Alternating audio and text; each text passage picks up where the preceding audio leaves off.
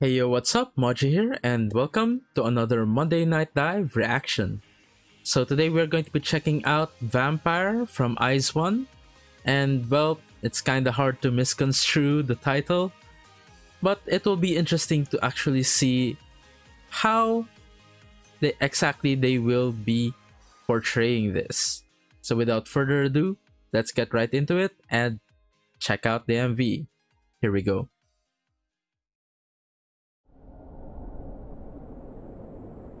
Ooh. Very chilling scene. Ooh, the bats. And that's an awesome looking castle. Very spiky. With the huge moon in the background. Sakura with a lollipop. Wonyoung with some cats. Ooh, the cat. Oh, wow. I like the shot.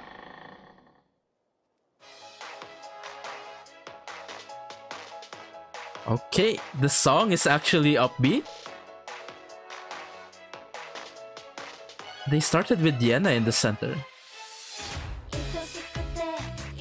Ooh. The vibe of this song is kinda interesting.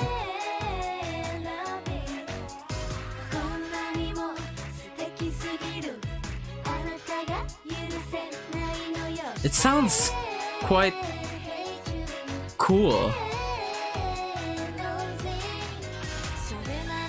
Loathing?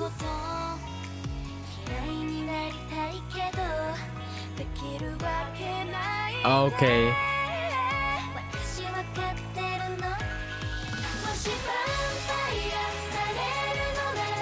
Hmm.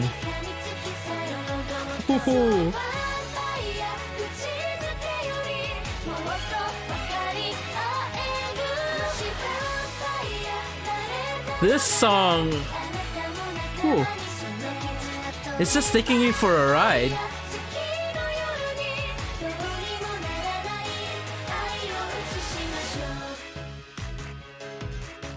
Yeah, it's it's quite cool.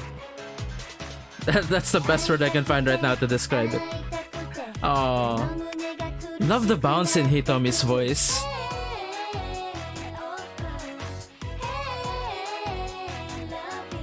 Okay, Wonyoung just popping out. Oh, her stare.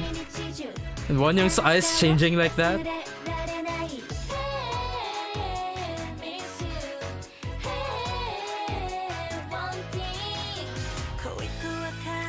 Oh, a lot of pretty shots here. Okay, we have Nako in the dark room. Oh, that picture.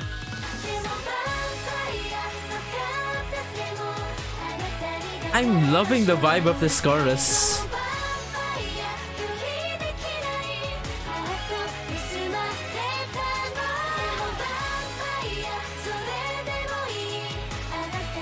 Yuri's nails are getting longer.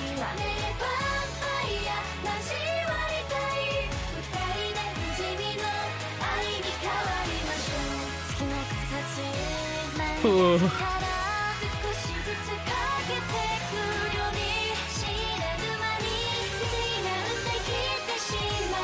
This build up. Oh. It actually didn't quite go where I expected it to. Okay, there we go. Chaewon with fangs. Oh, actually all of them have fangs.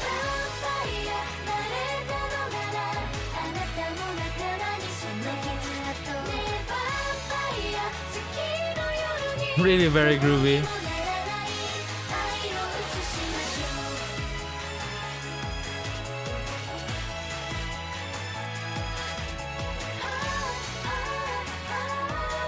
It feels very magical, very mystical.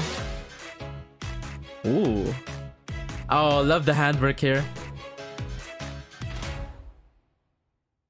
Okay. I gotta say, I really, I'm really digging the purple hair on Sakura. Anyways, that was Vampire from IZ*ONE. And one thing that uh, struck me the most about this song is it feels like uh, the opening to some anime that uh, where the protagonist is the vampire. And you have like the, this just uh cool relaxed person who is awesome at everything. And yeah it just just gives off that that vibe. And so there is one thing that i did notice about the song though. And it's that the mixing on the vocals is a bit thinner than what you'd expect from most uh, K-pop songs. But then again, this is a Japanese release, so uh, it's more of J-pop. And actually, with IZ*ONE, the way they treat their Japanese releases, it does sound uh, closer to J-pop than uh, certain other Japanese releases I've listened to before. Uh, from other groups. But we're not here to compare anyways. Uh what was I saying? Oh the, yeah, the vocal mixing. So I'm getting the feeling that this might be a controversial topic. but yeah, the vocal mixing is a bit thin. And I'm I actually feel like this was the correct decision for this song. So please hear me out before you uh come at me. Anyways, uh please remember, yeah, this is just my opinion. This is how I felt throughout the song. And yeah, like the vocal mixing was thinner than what you would hear in uh compared to most other songs, whether it be J-pop or K-pop. Uh, but that's because the the vibe or the atmosphere that they were trying to create for this song kind of depended or actually largely depended on uh, having this light uh, and upbeat tone. And so the vocal mixing is lightened up a bit so that it's not too thick, it's not too heavy. Um, it doesn't quite punch as much because you know when you when you get this punchy tone in the song, it's like in the vocals, it tends to punch downward. And that's usually what you look uh, for the most in in most songs. That that impact right? The way uh the way the song hits you. And so this one kind of sacrifices a bit of that impact kind of sacrifices the vocal quality as well because the mixing doesn't sound uh as polished as it could be because I think that's what that's one reason as well. Um since it's a bit thinned out, it doesn't feel like it was fully like fully uh rendered or fully filled out, right? And but what they probably did uh, uh, the the I don't know the the composers or the sound engineers did is that they kind of sacrificed a bit of that vocal quality. They kind of sacrificed a bit of that impact, a bit of that oomph, in exchange for having this uh, light and airy uh, vocal mix that kind of uh, emphasizes the atmosphere that was being built up by the instrumentals and by the MV itself. and it's this atmosphere that concentrates on well vampires being cool. Because they were singing about wanting to be a vampire right? Because here's one thing. This is why i mentioned in the starting as to why i was it's why i was interested in seeing how they portray this.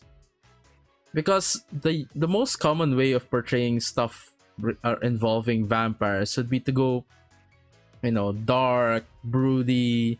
You have this kind of heavy atmosphere a lot of uh a lot of depth a lot of impact a lot of just uh darkness that kind of feels tangible that weighs you down. And that's not what this song is going for at all.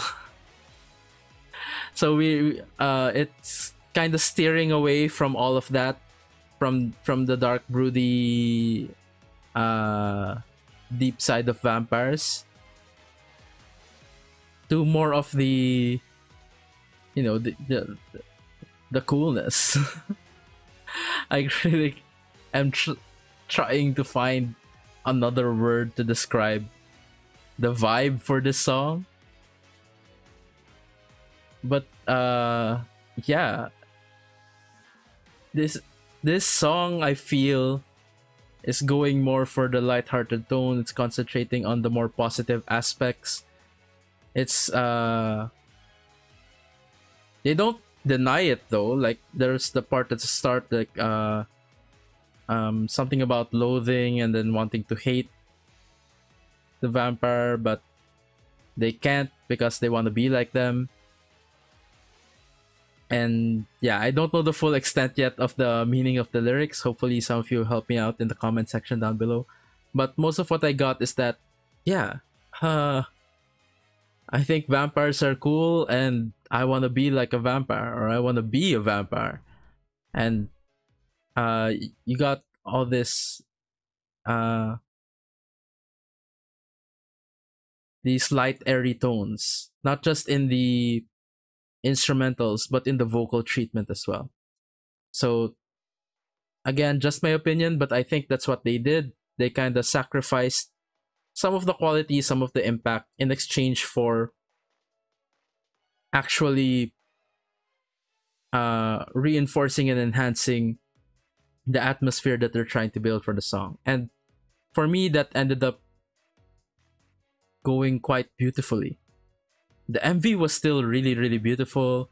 Loved all the shots of the all around the house um with the various members like uh Wonyoung sneaking up on Hitomi or Eunbi and was that? Hyewon by the window? Um Nako in the dark room. And you got all these beautiful shots shots that still relate to being a vampire. There's still some element of darkness but it's not that heavy kind of darkness anymore. It's more of like the kind of darkness that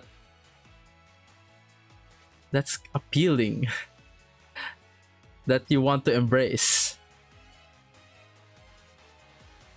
and yeah and just uh, also love the the choreography that uh, IZ*ONE performed, especially the the handwork that they had towards the end there. Really, really amazing looking.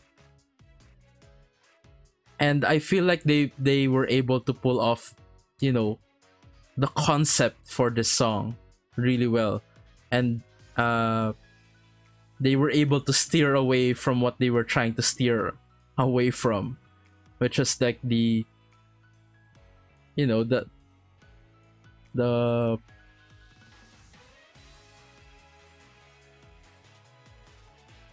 the truly dark side of being a vampire like the the heavy stuff uh the broody emotional uh, stuff that uh, usually is involved when it comes to vampiric portrayals, whether it's like a show or a music video.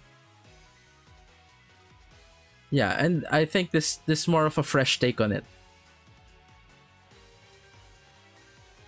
Uh, but it's more of an idealistic take.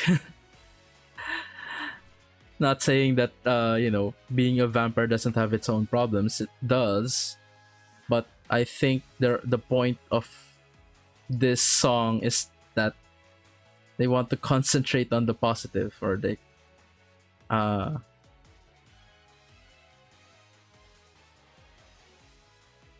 yeah, they just want to be a vampire. They want to be vampires.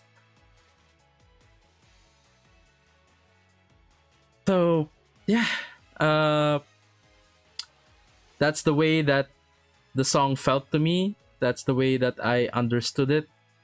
Of course, there probably are some other interpretations out there. Probably some of you would have liked the vocal textures to be mixed a little bit thicker.